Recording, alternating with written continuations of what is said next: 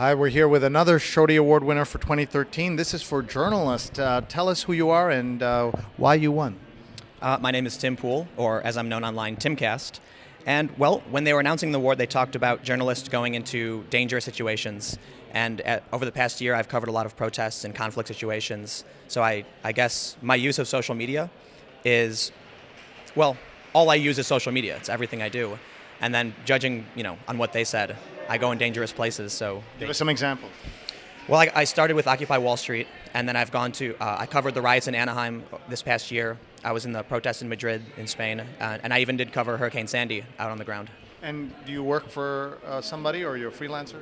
I wouldn't even call myself a freelancer. I literally post all of my videos to social media, Twitter. Uh, Twitter is my is, is mostly where I post updates, and then I use YouTube for videos. I use Livestream for video, and Google Plus to write. And how do you eat? It's very difficult, but but you know, well, I, I build technology too. I have a flying drone. Um, yeah.